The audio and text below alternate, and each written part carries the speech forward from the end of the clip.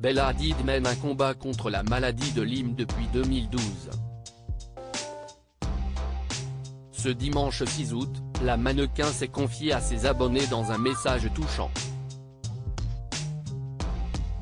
Après plus de 10 ans de traitement contre la maladie de Lyme, une pathologie auto-immune transmise par une piqûre de tique, Bella Hadid donne à ses abonnés des nouvelles sur son état santé.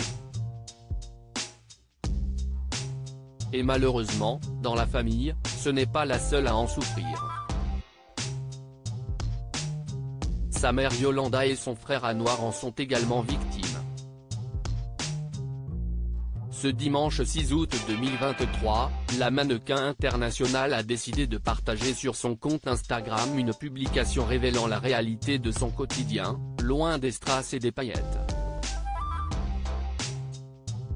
Généralement discrète sur sa vie privée, elle a posté une série de photos où l'on peut la voir allongée sur un lit ou sur un canapé, bandage au bras, perfusion et piqûres.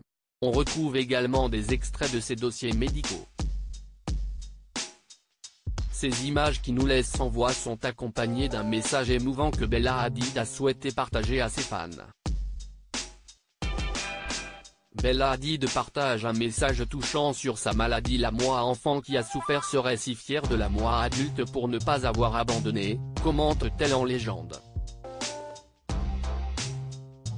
Après des moments difficiles et douloureux, la sœur de Gigi Hadid voit enfin la lumière au bout du tunnel.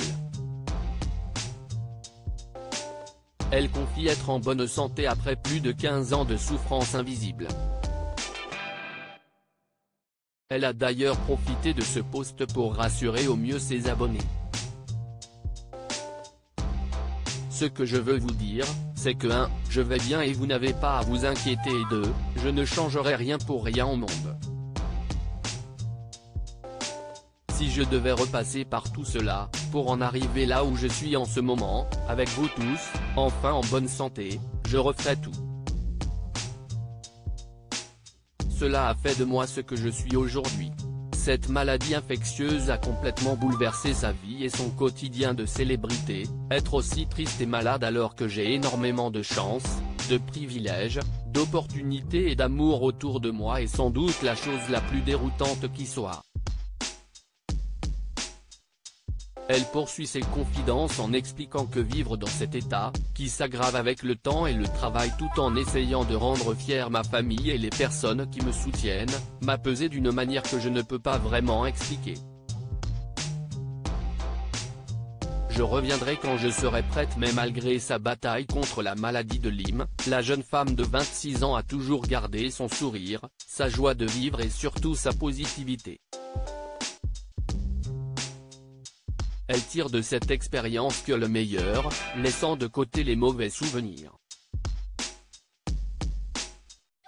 J'ai essayé de choisir les images les plus positives possibles car aussi douloureuse que soit cette expérience, le résultat a été l'expérience la plus éclairante de ma vie, confie-t-elle dans son texte. Elle conclut en ajoutant, l'univers fonctionne de manière aussi douloureuse que belle, mais je dois dire que si vous luttez, ça ira mieux. Je vous le promets, je reviendrai quand je serai prête, vous me manquez tous tellement. Je vous aime.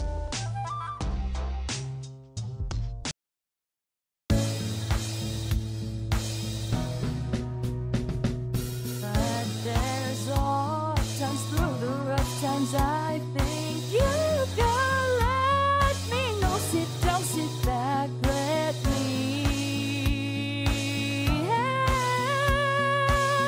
you out. Step I got is